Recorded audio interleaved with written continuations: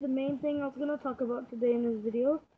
Uh, Raspberry Pi. If you guys don't know what it is, it's basically a mini computer. You can do whatever you want with it.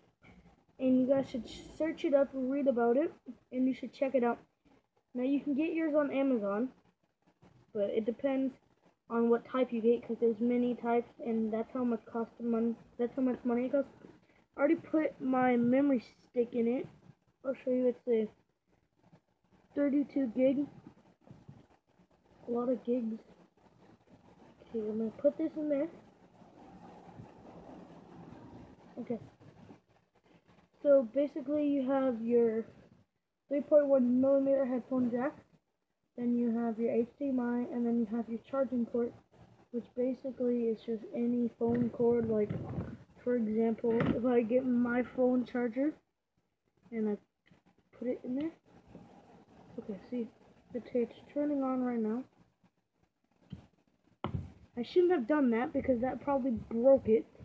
Well, actually I didn't break it. It, it turned on as you guys can see but it's not connected to anything.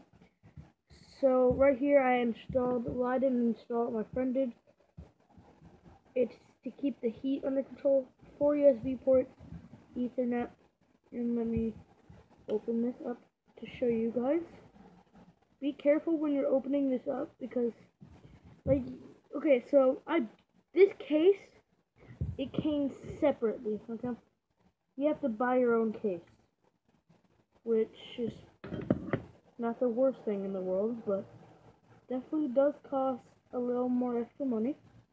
You would need a controller for it. Here's the circuit board. A little of it. Let me show you. Okay, let me put this back on. Is and when you're putting it back on, be very careful because like if you if you put it on incorrectly, then you could potentially damage the circuit board, and that would not be a good.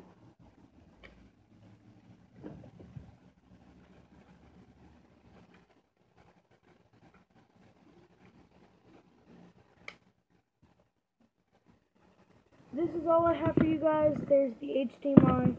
And like I said, this is the power cord, but I just showed mine as an example. And um, I'll show you